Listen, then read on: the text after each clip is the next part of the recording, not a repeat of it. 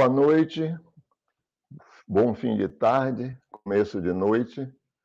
É, estamos é, de volta aos nossos ciclo de seminários de 2022, segundo semestre, sobre os anos de mobilização é, negra 1930-1945. É um, um projeto do Programa de Pós-Graduação em História da Universidade Federal da Bahia, né, que se desenrola até é, o 12 de dezembro. Né? Como vocês sabem, já tivemos convidados como a professora, os professores Verena Alberti, Mário Medeiros, Aruan Silva de Lima, Paulina Alberto, e hoje temos o prazer de receber o professor George Ray Andrews, da Universidade de Pittsburgh. Seguiremos é, com, com Petrônio é, Domingos, no, nesse mês ainda, no dia 14 é, de novembro, desculpe, no 14 de novembro, e é, o, é, o, professor Flávio Francisco, da, a, da UFABC, é, no 28. E em dezembro teremos mais duas sessões finais com, com os professores Jéssica Graham e Márcio Macedo. É? Então, uh, eu tenho o prazer hoje de trazer para vocês e apresentar o professor George Wright Andrews, que é Distinguished Professor do Departamento de História da Universidade de Pittsburgh. É um velho conhecido nosso, velho muito tempo, minha geração dialogou com ele, aprendi muito com ele, e todos nós aprendemos muito com ele, com seus livros. Eu tô, vou fazer apenas uma listagem daqueles que nos marcaram é, mais, é? É, a começar pelo último livro de agora de 2018, que já tem uma, uma edição em português, que é uma edição inclusive é, aberta, que é, é, é uma introdução aos estudos afro-latino-americanos, organizado e coeditado com uh, o, o, o, Alejandro de la Fuente. E temos também o, o, a América Afro-Latina, é, Vidas Negras, de, de, de 1600 e 2000, que eu eu não estou vendo aqui a, a, indicação de uma edição portu, é, em português, mas eu acho que sim, existe. É? É, e seus livros é, mais clássicos, que são é, Negritude numa Nação Branca, a história do Afro-Uruguai, né, que está em espanhol, Afro-Latinoamérica, que está em português também, 1800 2000. É, Brancos e Negros em São Paulo, Brasil, de 1888 a 1988, é? que tá, tem em português é? um belíssimo livro que faz uma reinterpretação do que se passou em São Paulo, dialogando bastante com Florestan Fernandes. É, e é, os afro-argentinos em Buenos Aires, de 1800 a 1900, que tem uma tradução também para o espanhol. É, o professor George Andrews leciona cursos sobre a América Latina colonial e moderna, sobre a América afro-latina, sobre história do Brasil, sobre raça na América Latina, sobre Estado e sociedade na América Latina e sobre as relações América Latina e Estados Unidos. Né? É, sua, é, sua, tem um bacharelado na Dartmouth uh, College, um, um, mestrado e eh, doutorado pela Universidade de Wisconsin, Madison, 74, 78, e, e é, hoje vai nos falar sobre a mobilização negra na América Latina, uma, uma, uma uma exposição comparada dessas, dessas, dessas diversas formações raciais na, na nossa América Latina. É, George Andrews, um prazer enorme tê-lo aqui conosco. Realmente, muito obrigado por ter aceito o convite. E é, o microfone e a tela é sua, certo? E você pode usar uh, o tempo que quiser, nós estaremos escutando. E, e, depois, se a gente tiver tempo, pode interagir, conversar um pouco. Muito obrigado por ter aceito. Bem-vindo virtualmente à Bahia de novo. Muito obrigado, Antônio Sérgio. Muito obrigado pelo convite. Muito obrigado pela apresentação tão generosa.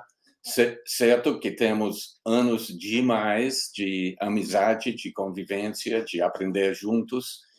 E é um prazer poder voltar para a Bahia, um que seja, um que seja virtual, de maneira virtual.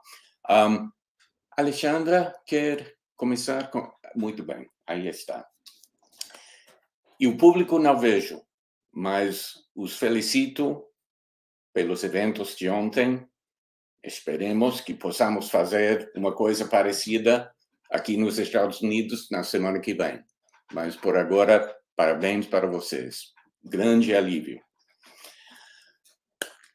Sim, o, a apresentação hoje trata da uma visão compreensiva da mobilização política negra na América Latina naqueles anos, especialmente na década dos 30, um, como todos sabemos, a década de 1930 foi um período de, de tremendos conflitos e inovações na política da região.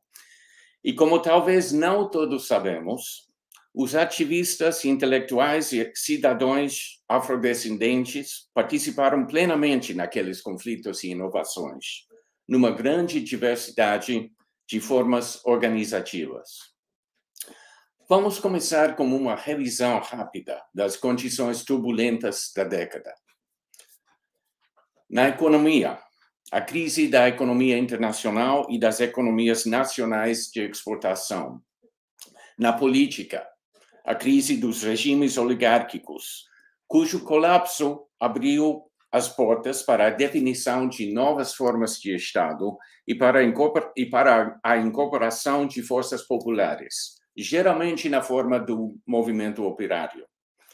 Pensando só no caso do Brasil, os principais eventos da década incluíram a derrubada da Primeira República, em 1930, a Revolução Constitucionalista, em 32, o levante da Aliança Libertadora Nacional, em 1935, e a imposição do Estado Novo, em 37. E os outros países da região experimentaram cenários igualmente turbulentos. Tur turbulentos, desculpem. Terceiro, o confronto internacional entre o comunismo e o fascismo, que se manifestou em quase todos os países do Atlântico e numa forma especialmente intensa na Guerra Civil Espanhola. E, finalmente, e especialmente relevante para a mobilização política negra, a crescente crítica e rejeição do racismo científico, que tinha dominado o pensamento social e político no mundo atlântico durante os 50 anos anteriores. Nas décadas de 1920 e 30, os intelectuais e políticos latino-americanos começaram a repensar as suas ideologias raciais e a formular novos conceitos que valorizavam a mestiçagem e as ideias de inclusão racial.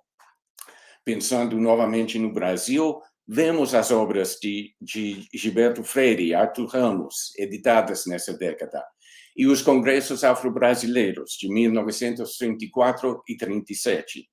E podemos ver mudanças análogas em Cuba, México e outros países. Por todos esses motivos, a década de, dos 30 abriu novas possibilidades para mobilização política popular, que atingiu um ponto alto naqueles anos, e possibilidades também para, para a mobilização negra, Como já disse antes, essas mobilizações expressaram-se em diferentes formas em diferentes países. Espere aí, para a diapositiva. Volta para trás. Por favor. Então, tá bom. Obrigado. Um, preciso confessar que não sou especialista em todas delas, nem mesmo na maioria delas, das mobilizações. Mas o convite de Antônio Sérgio me provocou um esforço para reflexionar sobre essas experiências e perguntar quais as conclusões que podemos tirar a respeito. Meu plano original foi o de discutir as mobilizações país por país, mas finalmente decidi que talvez seja mais útil tentar pensá-las em termos de categorias ou modalidades. Esse exercício, como vão ver, acabou sendo difícil porque as linhas e divisões entre as categorias não foram sempre tão claras e bem definidas. E, ao contrário, houve convergências inesperadas e interessantes entre elas, as formas de mobilização. Mas vamos tentar o exercício para depois avaliar até que ponto uma tipologia desse tipo pode ajudar-nos na compreensão das complexidades da, da época e também para formular novas questões e hipóteses para futuras pesquisas. E agora o diapositivo. Vamos propor, propor quatro modalidades de mobilização política negra naquele momento, os anos 30, começos de 40.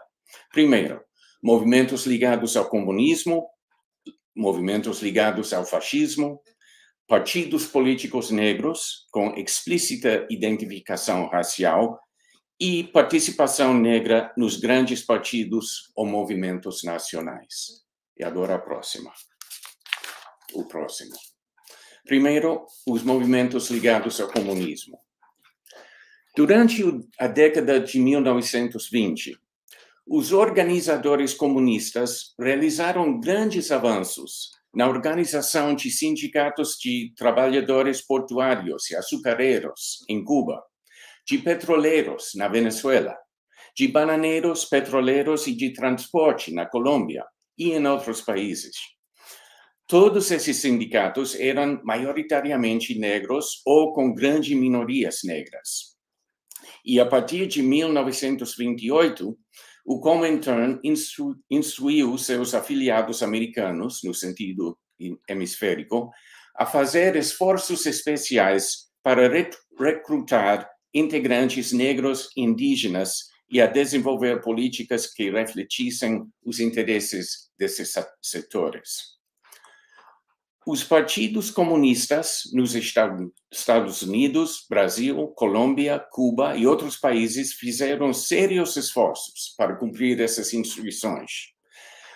Provavelmente a história de maior sucesso foi em Cuba, onde os trabalhadores negros formavam a maioria dos trabalhadores nos sindicatos dos trabalhadores portuários e açucareiros. Os líderes afro-cubanos, Alexandra, o próximo, Homens como Blas Roca, Lázaro Peña, Jesús Menéndez, Salvador García Agüero e muitos outros estavam bem representados na direção desses sindicatos e do partido. O famoso poeta Nicolás Guillen editou o jornal do partido, Notícias de Hoje. Guillen está aí embaixo, ao lado direito o Partido Comunista Cubano assumiu uma postura fortemente antirracista na política cubana, opondo-se à deportação dos trabalhadores haitianos e jamaicanos e reclamando, sem sucesso, a criação de uma franja negra autônoma no leste da ilha. Também conseguiu a inclusão na Constituição de 1940 de uma cláusula de, de condena da discriminação racial que ganhou ainda mais apoio afro-cubano para o partido. E agora, voltando para trás. No Brasil, o Partido Comunista fez esfor esforços semelhantes para ganhar o apoio negro, invocando na sua propaganda os exemplos históricos de Palmares e da revolta da Chibata, e reivindicando, como em Cuba, a criação de territórios autônomos negros. No primeiro Congresso Afro-Brasileiro, em 1934, Edson Carneiro afirmou que era, citando ele, notório a existência de um contingente enorme de membros negros no partido. E no ano seguinte, 1935, uh, e Alexandra, dois diapositivos para frente. Praças e marinheiros negros participaram na revolta da Aliança Libertadora Nacional contra o governo. Mas ainda precisamos de mais pesquisas para avaliar o, nível de participação da população afro-brasileira no PCP e nos sindicatos afiliados com o partido, e também sobre as discussões no partido e nos, e nos sindicatos sobre a raça. Voltando para trás, na Colômbia, os trabalhadores negros dos sindicatos de petroleiros, de bananeiros e de operários de transporte se uniram em 1935 para criar a Confederação de Trabalhadores Colombianos.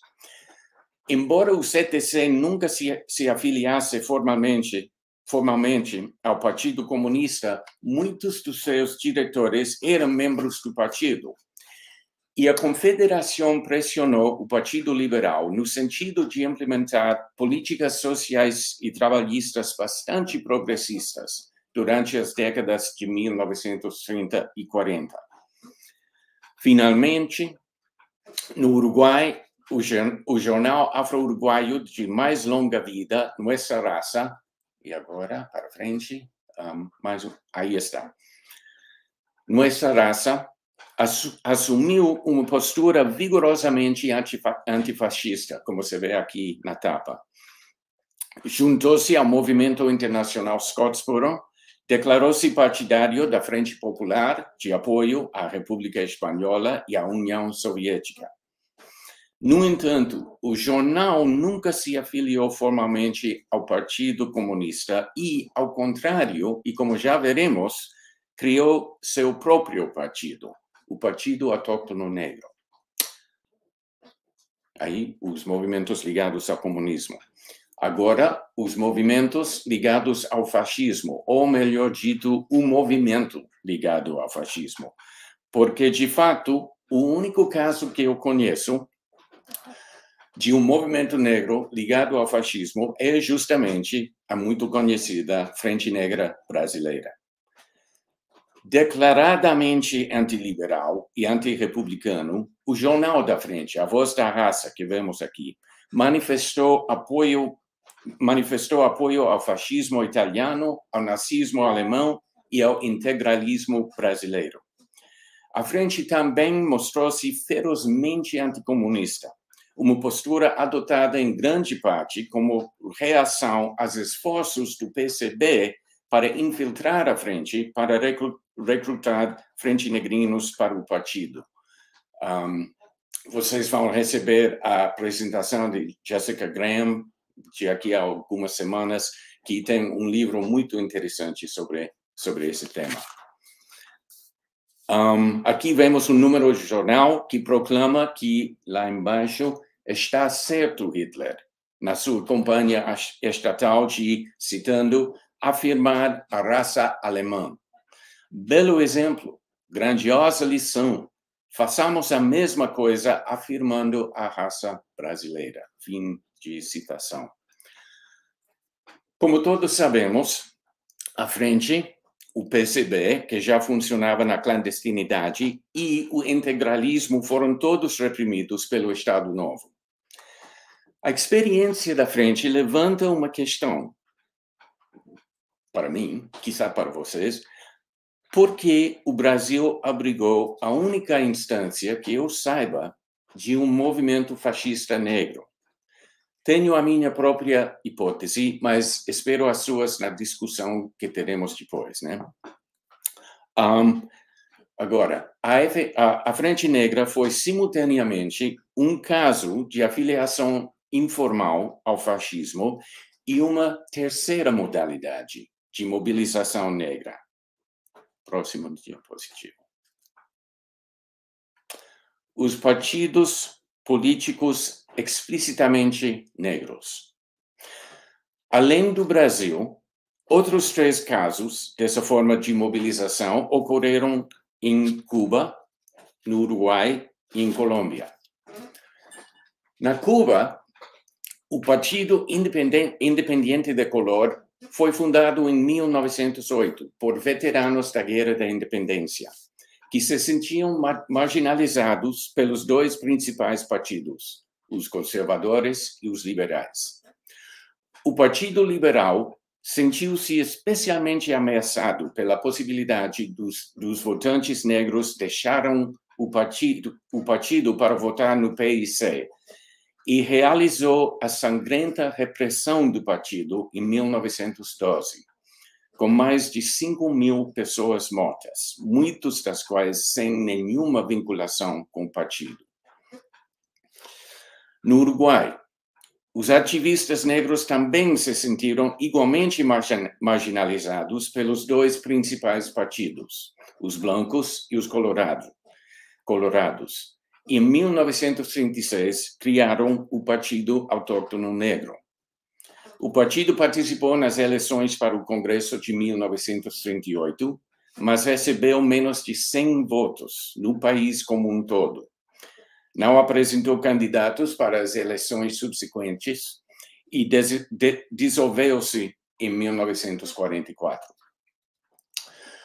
O Partido Negro de maior sucesso foi o Movimento Ação Democrática, criado na região do Chocó, na Colômbia, em 1933 pelo advogado e político socialista Diego Luiz Córdoba. Córdoba militava na ala radical do Partido Liberal, mas quando sua candidatura para o Congresso foi negada pelo partido, ele deixou os liberais para fundar a Ação Democrática. As principais propostas do novo partido foram, primeiro, o combate contra a discriminação e a desigualdade racial, e, segundo, a representação da região do Chocó, uma região muito pobre e marginalizada na vida e na economia nacional. A AD ganhou várias eleições locais e mandou Córdoba ao Congresso Nacional, primeiro como representante e mais tarde, em 1944, como senador. Uma vez no Congresso, Córdoba geralmente votou com o Partido Liberal e em 1947 conseguiu a elevação do Chocó do status de intendência federal administrada pelo Ministério do Interior para um departamento autônomo, grande conquista política. Por sua aliança com o Partido Liberal, o caso da Ação Democrática aproxima-se muito à nossa quarta e última modalidade Próximo diapositivo. Aí está. A participação negra nos grandes partidos e movimentos nacionais. Se a participação nos partidos políticos negros representa o que a cientista política Tiana Pacheco chama de mobilização como negro, a participação nos partidos nacionais se enquadra numa outra categoria, mobilização enquanto negra negro, citando a ela. Nesta segunda categoria, os afrodescendentes politicamente ativos se juntam a organizações que não se definem racialmente, nem têm programas especificamente raciais. Esta categoria de mobilização incluiu, nos anos 30, na Colômbia, forte apoio negro para o Partido Liberal especialmente para sua ala radical popular, a, ala de Diego Luiz Córdoba.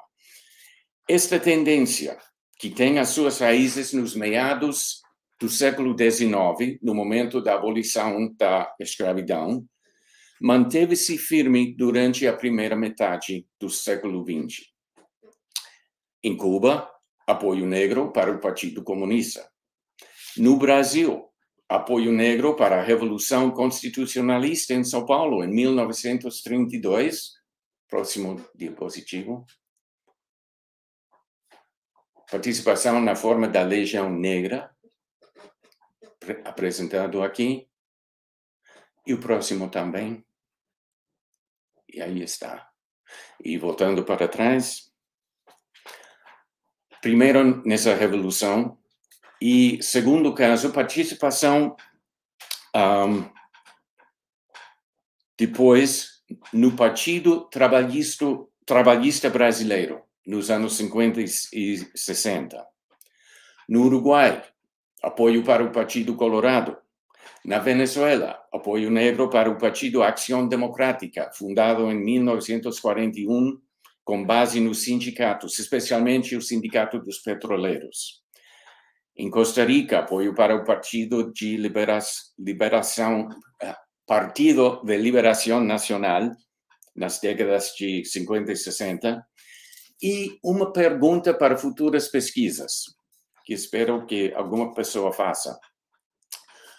O Partido Nacional Revolucionário em México, hoje o Partido da Revolução Institucional, fundado em 1929 para apoiar o regime revolucionário mexicano. Os camponeses afro-mexicanos dos estados de Guerrero, de Michoacán e Veracruz participaram desse regime e beneficiaram-se diretamente da sua reforma agrária durante a década dos 30.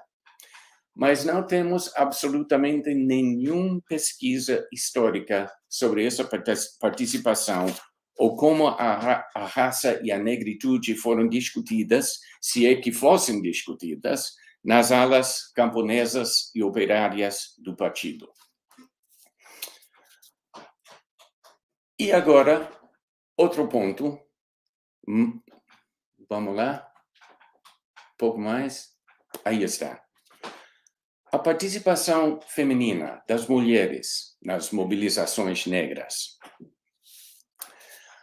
As mulheres negras tinham, uma long, tinham, tinham e têm uma longa história de participação nas organizações cívicas, culturais e religiosas das comunidades negras na região. Também foram fontes importantes de apoio financeiro para os jornais negros do final do século XIX e a primeira metade do século XX. Em Cuba, as mulheres negras apoiaram os movimentos de independência e participaram ativamente no Partido Independente de Color. No Brasil, as mulheres ingressaram em grande número na Frente Negra Brasileira, participando nos, nos seus programas educativos e culturais. E aí temos a escola da frente, com as, os, as professoras atrás, e o próximo e o coro. São fotos bem conhecidos no Brasil, mas evidências dessa participação na frente. Voltando para trás. Em 1900, ainda no Brasil, em 1932, as mulheres negras organizaram um corpo de enfermeiras para a Legião Negra. Voltando. Voltando. Não, a outra direção. Para trás. Aí estão. Veja, não, aí. As enfermeiras. E houve muito mais mulheres que trabalhavam com a legião. Um, na, bem, perfeito. Na primeira metade da década de 1930, o Brasil, Cuba e Uruguai todos instituíram o sufrágio feminino que abriu a, porta, abriu a porta para as mulheres negras participarem nos grandes partidos e movimentos nacionais. No Uruguai, em 1936, as ativistas feministas organizaram o primeiro Congresso Nacional da Mulher. Duas delegadas negras, Iris Cabral e Maruja Pereira, participaram no Congresso onde reivindicaram direitos trabalhistas para as trabalhadoras domésticas. Em Cuba, o jornal negro Adelante convocou as mulheres negras a exercer seu direito de votar e a concorrer a cargos políticos. Algumas mulheres afro-cubanas, não sabemos quantas, ingressaram no Partido Comunista, como recordou anos depois uma integrante, ex-integrante do partido, Maria de los Reyes Castillo, agora, agora citando em espanhol. Yo había oído hablar mucho de aquel partido y lo que más me gustaba era que ellos luchaban, entre otras cosas, por la igualdad de derechos entre negros y blancos, entre hombres y mujeres. Todo esto fue muy bonito, luchar por la igualdad, por la hermandad, por los derechos de la mujer. Bom, pessoal, agradeço sinceramente, sinceramente a sua paciência e chego às conclusões finais. Sim, sem diapositiva. Conclusão número um: que os afrodescendentes participaram plenamente na política do período. Não, não tem surpresa nenhuma. Segundo, as formas e as vias dessa participação foram altamente diversificadas, como já vemos e já vimos. Por exemplo, no Brasil, a mobilização fascista, que também era um partido político negro, o apoio ao republicanismo tradicional, a Legião Negra, e o populismo trabalhista, o PTB. Na Colômbia, a população negra apoiava amplamente os liberais, mas também militava dentro do Partido Conservador. E a mesma coisa no Uruguai, com o Partido Colorado e o Partido Branco. Daí surge uma pergunta. Quando os ativistas negras, negros, negros e negras, ingressaram nos partidos políticos nacionais, a sua presença nesses partidos provocou discussões internas sobre a raça ou a negritude?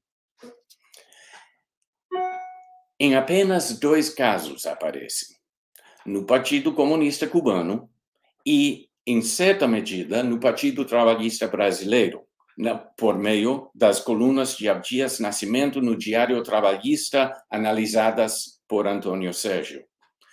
Nos outros grandes partidos, não.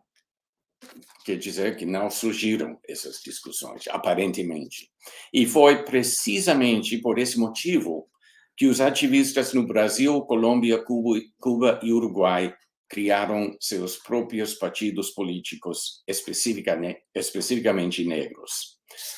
Partidos que, nesse momento, não tiveram, como dizer, não tiveram grandes impactos no discurso político nacional. O momento em que os movimentos negros sim tiveram maiores impactos viriam mais tarde, nas décadas de 1980, 90 e começos do século 21.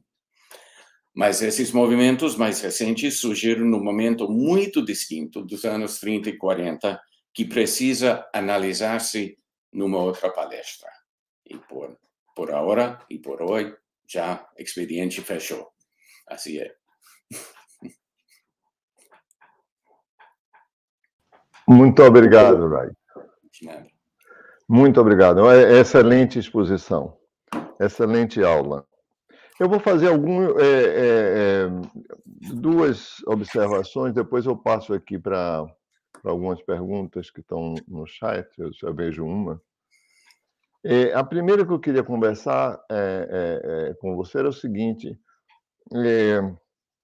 tem uma coisa que você não tocou diretamente, e eu me pergunto até que ponto faz diferença nessa forma de mobilização é, o grau em que é, o, o, o, os negros participam do imaginário nacional.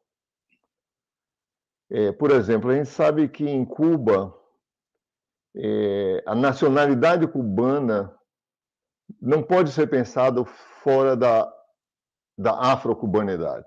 Certo? Desde os anos das guerras de independência, a enorme participação dos, dos negros na guerra de independência fazem com que é, toda a negritude cubana se insira diretamente na nacionalidade cubana. No caso é, brasileiro, é, acontece algo parecido, apesar de não, não, talvez não ter uma exceção tão grande como você aponta em, naquele eh, trabalho comparativo sobre trabalhadores, soldados, não é? Talvez uhum. não tenha tido uma, uma, uma, participação tão grande nessas guerras de independência, tal como teve em Cuba, mas, de qualquer modo, é, sempre foi impossível pensar o Brasil sem sua população negra. É, quando o Império tenta criar um imaginário nacional, uma história brasileira própria, né? É, vai recorrer ao mito das três raças, certo? E os negros vão ocupar um papel é, muito importante. Então, a minha pergunta para você é o seguinte: primeiro, uma, uma questão de ignorância minha. Se é, é, eu estou certo em achar que a mesma coisa não se passou em Colômbia, no Uruguai ou na Argentina, ou se se passou de uma maneira muito mais tênue. No caso da Argentina ou no Uruguai, a história que a gente tem é de embranquecimento, é de apagamento dessa, dessa presença, ao contrário de Cuba e no Brasil. Na Colômbia, eu não sei, não sei se ficou no meio termo, sabe? Mas, é, de qualquer modo, se isso ah, afeta ou afetou essa mobilização negra, de que modo afetou? Como você veria isso, né? Hum. É, então, essa é, é, é, uma questão que não sei, talvez você queira falar agora. Eu tenho um, uma outra que é uma grande curiosidade também, posso emendar. É uma provocação sua, né, agora, né? Porque o, o, o Brasil foi o único país a abrigar é, é, uma filiação é, negra ao fascismo, né? Essa provocação sua. E aí eu tenho um, uma, umas ideias que queria trocar com, com, com, consigo, né? trocar com você também. Seguinte, é, me dá a impressão, que eu não sei se é verdadeira, porque não sou realmente um historiador, né?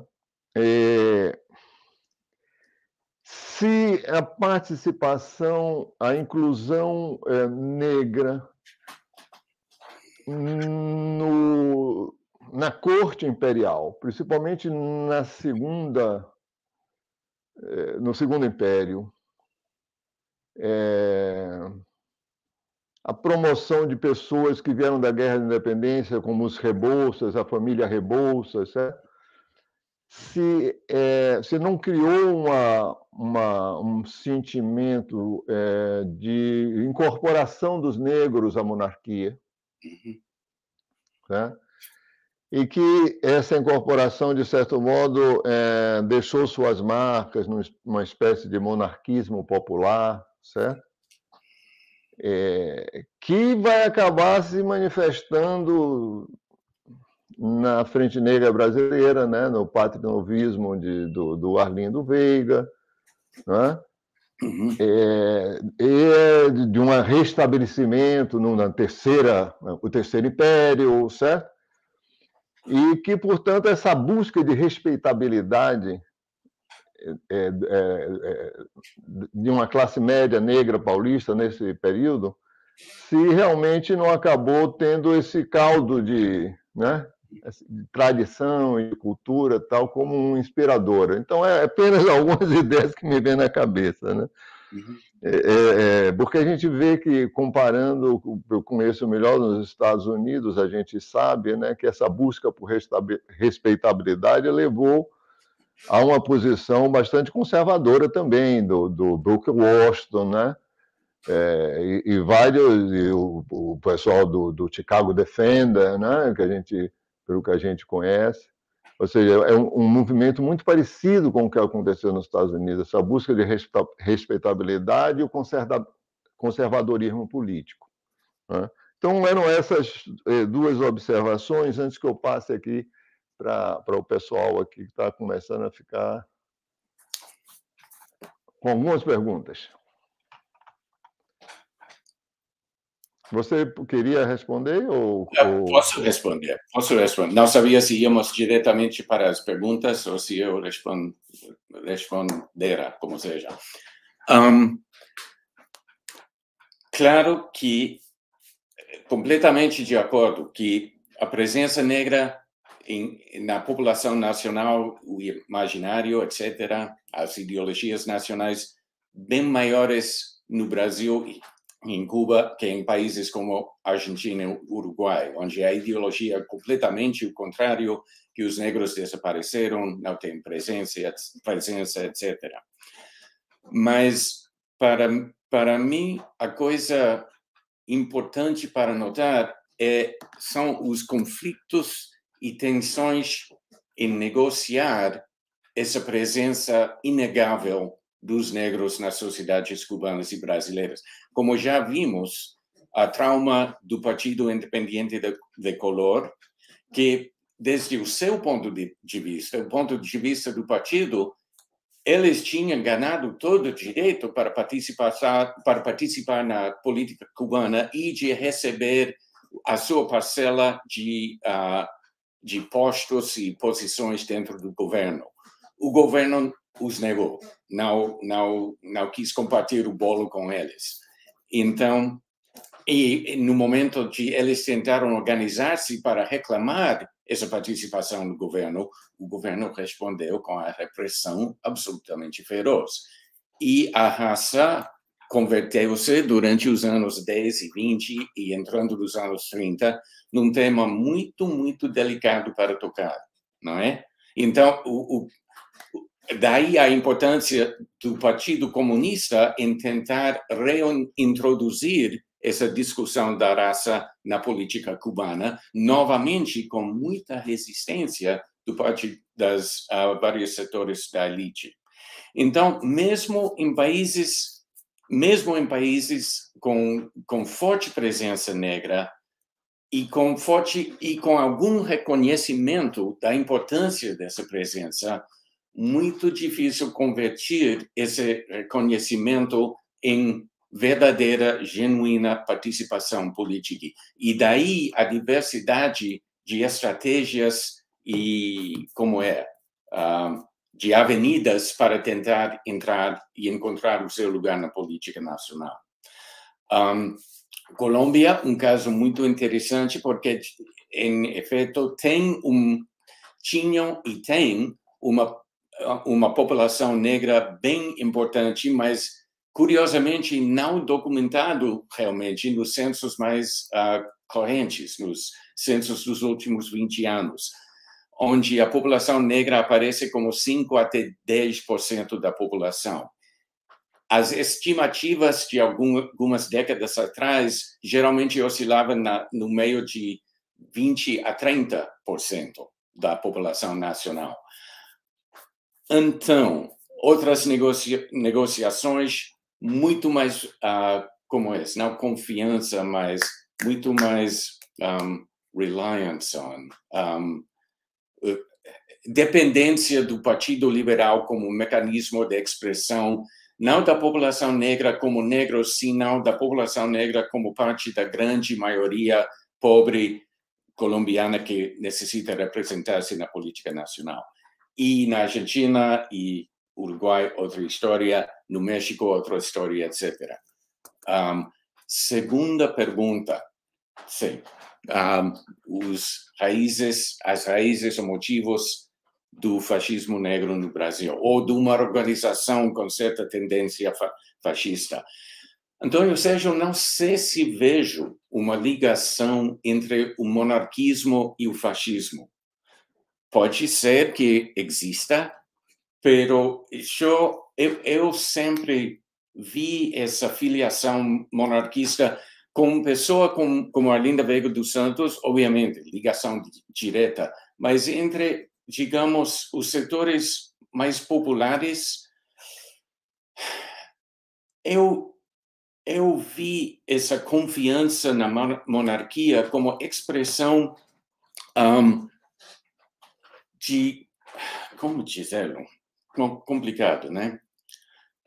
De confiança numa instituição do governo, do governo que mostrava-se disposto a reconhecer e ajudar os mais necessitados, os membros mais necessitados da sociedade, além de dar oportunidade para políticos específicos que, sem dúvida, participavam no governo.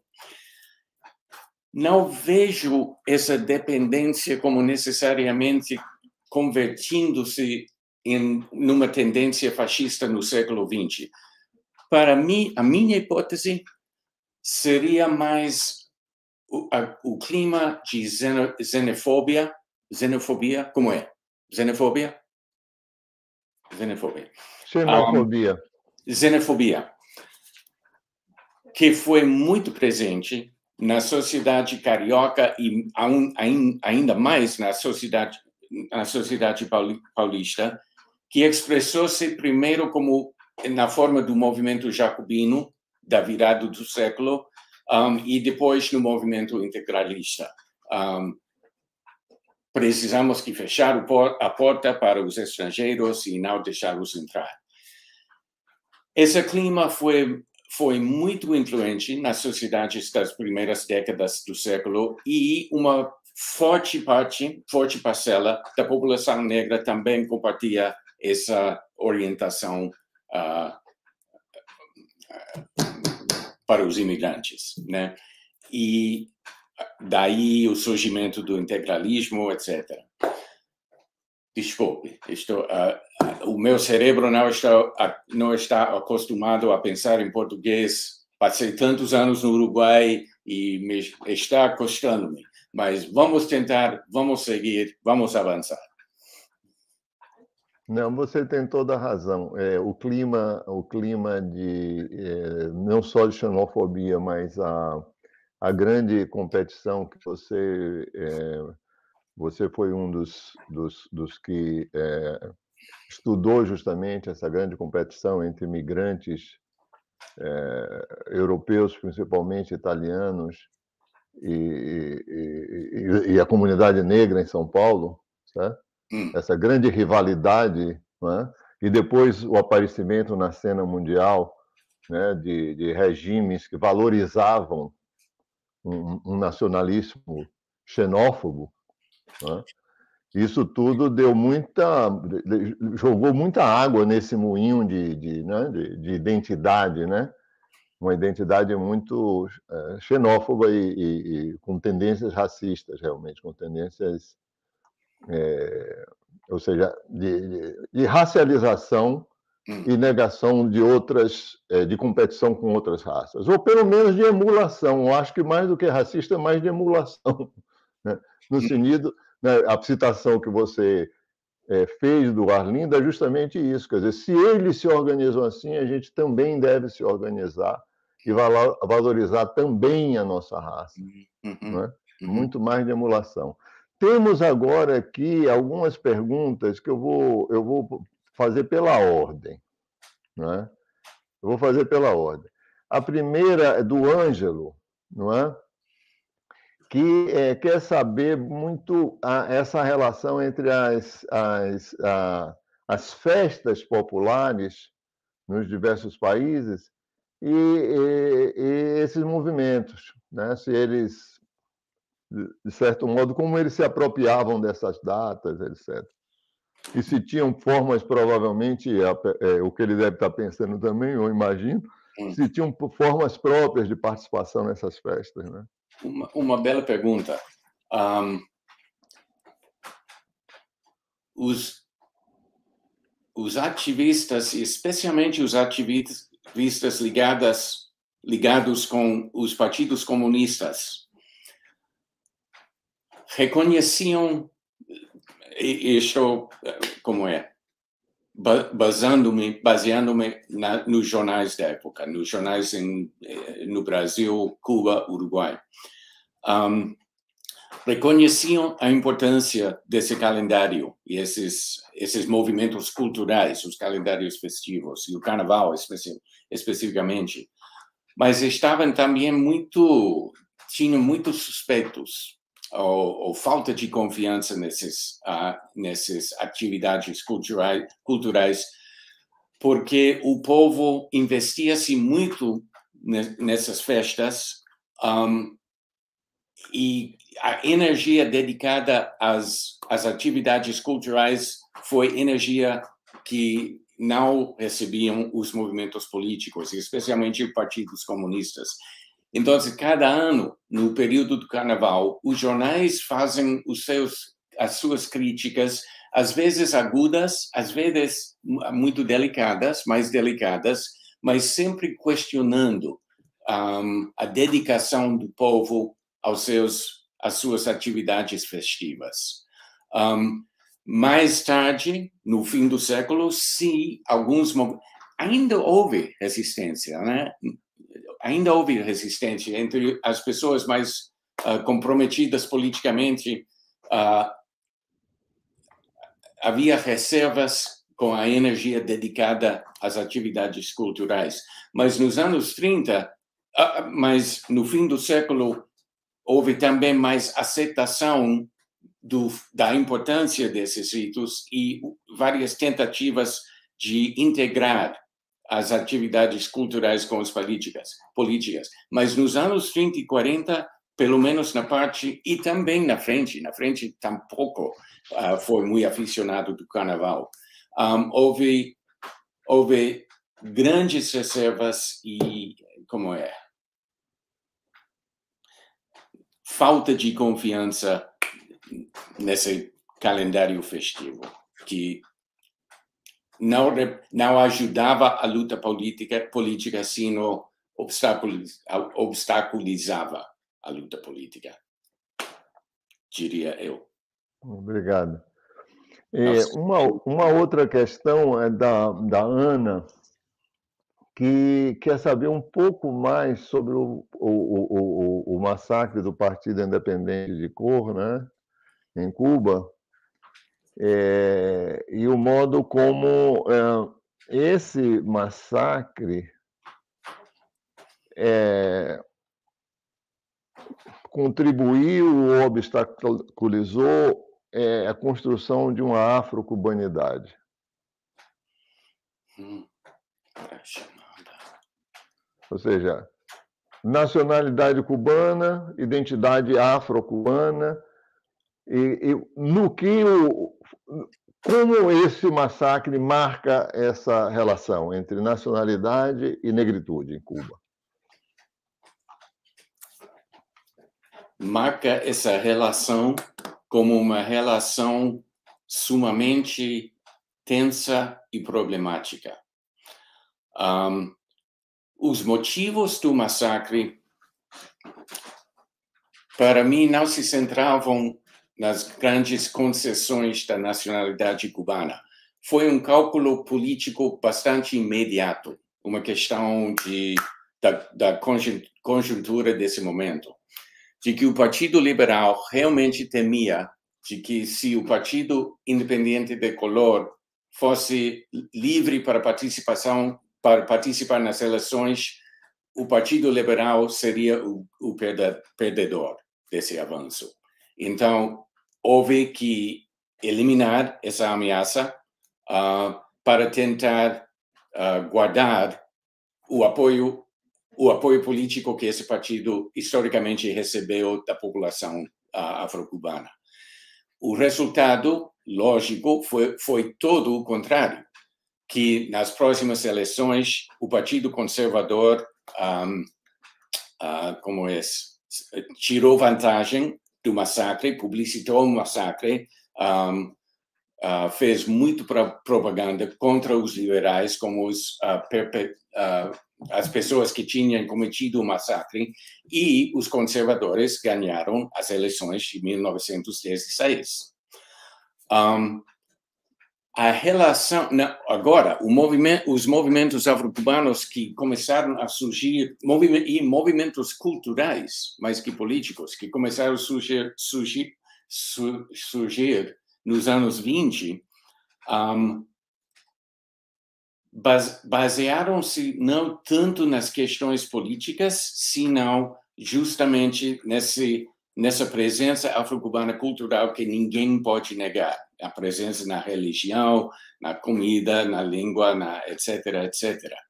Um, ah, na música, obviamente. Enquanto, enquanto que esses movimentos afro-cubanos culturais, o Partido Comunista trabalhando no lado político, mas sem meter sem mexer-se muito por, por pelo que eu saiba, uh, no lado cultural do, do, uh, do projeto político, digamos. Assim, uma resposta um pouco confusa, espero que não confundir, confundir demais. Não, não, eu acho que está claro. Talvez, é, é, é, como tem muito tempo que você não está falando português, hum. É, alguma coisa não tenha é, ficado clara, mas para mim ficou muito claro. Quer dizer, é, Faça a tradução. Uma incorporação cultural era, foi sempre bem-vinda, desde que não tivesse uma conotação política de é, rivalizar com o projeto do partido, uhum. tanto do Partido Comunista como dos outros partidos. E com a, e, e com a distribuição dos empregos políticos. Exa exatamente. Ah, ah, na estrutura política, certo? enquanto política, seja como estrutura, como, como, como cargos políticos, etc., tá? e como representação, não. Certo? Como forma de expressão popular, tudo bem. Tudo bem. Certo? E justamente por esse tudo bem que os ativistas negros políticos. Bom, não, não, não. Vamos, vamos para a próxima pergunta. Certo. Vamos para a próxima pergunta do Yuri. Não é? É... O Yuri quer, um, quer, saber uma coisa que é, é, é, é difícil, complicada. Houve alguma influência é, dos movimentos negros brasileiros, principalmente a, Frente Negra, etc., nos movimentos norte-americanos? Ou em outra parte da América Latina? Quer dizer, teve alguma repercussão por, além do Brasil? eu não sou muito experto, nem muito menos, na história da, da do Partido dos, das Panteras, um, the Black Panthers. Por, pelo que eu saiba, não houve grande influência latino-americana na formação do partido. Pode ser que houvesse, pode ser que houvesse influências do Caribe inglês uh, e, e a negritude da, do Caribe, do Caribe francês e inglês. Mas da frente, eu duvido que, que as panteras teriam tivessem muitas grande consciência do que passava no Brasil. Certo. A, a, situação é, infelizmente, que os movimentos tanto negros como brancos, como até muito recentemente, os movimentos políticos nos Estados Unidos não prestam grande atenção ao que acontece fora do país. E sendo um país muito poderoso, isso é possível, porque não temos que uhum. lidar com os outros, ou não tínhamos que lidar. Uhum. Um, nos anos 60, e no, especificamente nos anos 60, o interesse de quase toda a sociedade americana era muito mais voltada para a questão de Vietnã, um, dos poderes comunistas, China, União Soviética, etc. Então, eu duvido que houvesse influência ou consciência da Frente Negra Brasileira no Partido das Bandeiras, mas bela pergunta para para pesquisar, né? Uhum. Para voltar para os jornais desse partido e a ver até que ponto o Brasil surge ou aparece nesse jornal, que existe, as coleções existem. Ah, eu fiquei agora curioso com a sua resposta. O seguinte: eu li, não consigo identificar exatamente em quem. É, talvez tenha sido no, no, no, no, meu escrito sobre a recepção de Fanon aqui no Brasil, hum. que os Panteras é, receberam é, Fanon em toda a ideia do racismo colonial e que, de certo modo, não sei se isso é verídico ou não, de certo modo, as ideias que estavam em voga no México, por Casanova e outros intelectuais, a ideia de colonialismo interno, uhum. de certo modo também influenciaram, essas ideias influenciaram também os Panteras, no sentido de dizer que os negros eram é, é, uma espécie de colônia interna é, dos, dos, do, do, do, poderio branco. Ou seja, uma certa influência das ideias mexicanas de, de, de é, que, que, vieram juntas com a leitura de Fanon. Eu não sei se você pode comentar isso. Antônio Sérgio, possivelmente, é, é certo que eles utilizavam esse tipo de linguagem, esse conceito de colonialismo interno, e também que nesse momento surgiam os movimentos chicanos em. Califórnia, onde o partido se estabeleceu, foi fundado. Então, possivelmente alguma influência mexicana pode existir. Eu não sei, eu não conheço essa história, não conheço bem essa história. Uhum. Novamente, teria que uhum. recorrer para os jornais e também entrevistas das pessoas, alguns dos quais ainda vivem todavia, né? Ainda uhum. vivem. Assim que linda, linda pergunta para pesquisar. É, vamos adiante. É, é, é, é o, a Priscila, né?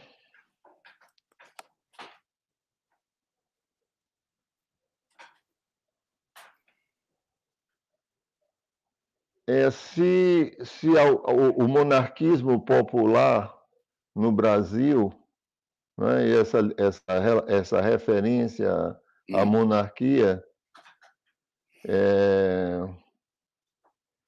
se, se, se, se, se, tem alguma relação com, com, com leis emancipacionistas é, é, promovidas pelo, pelos partidos conservadores, etc. Ou seja, se, se de certo modo tem partidos conservadores, de certo modo, é, ampliando esse sentimento popular, monarquista, etc. Uhum, uhum. Talvez seja a própria ideia de, da, da, redentora, né? De uhum. Isabel como uma redentora e todo o mito de Isabel. E, claro, e a associação do imperador com um, a lei de 70, 71 ou 72? 71, né? a ventre livre. Ventre livre. Ventre livre. E também com a justiça imperial, os tribunais imperiais que não sempre um, ajudavam aos escravos e aos negros livres que recorriam para elas, pero não infrequentemente um, montaram alguma defesa de alguns alguns direitos que os escravos tinham um, e a possibilidade de alforriar-se, por exemplo, então, houve toda uma série de associações positivas, muito mais positivas com a monarquia do que com os donos de escravos e os oficiais locais. Uhum. Mesmo assim, não sei se vejo uma ligação direta entre essa, essa tendência e, e a frente depois. E a frente depois. A, a Priscila está tá, tá lembrando uma coisa, a Priscila Glória, que eu acho que a gente não tocou, é, falou só do monarquismo, etc., mas é, não tocamos no fato que o Partido Republicano Paulista, por exemplo, foi, é, foi muito pouco abolicionista, para dizer o mínimo, né? Hum. Ou seja, a associação entre, entre os republicanos de, de, de, de 14 de maio uhum. Né? E, e, e, o republicanismo foi mais forte em São Paulo do que em outros lugares. Né? Hum.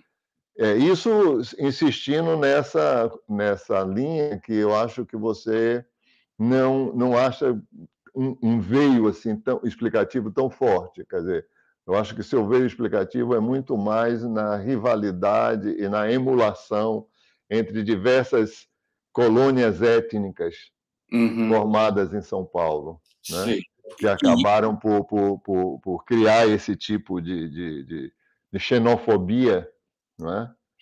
Juntamente com tendências semelhantes na população branca brasileira. Exatamente, exatamente. Assim Exatamente. Fica claro, então.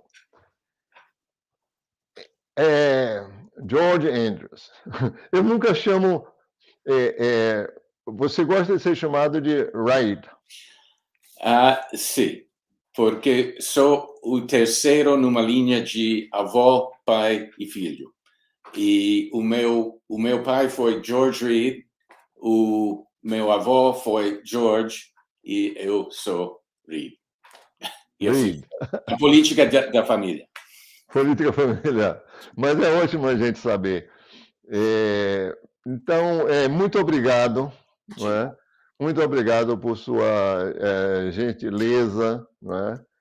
É? muito obrigado também pelos votos que você fez. Eu também desejo que nas, nessas eleições agora americanas a tendência a tendência de combate a esse tipo de fascismo atual né, se consolide, né, que se afaste é, os perigos mais, é, mais ameaçadores, né?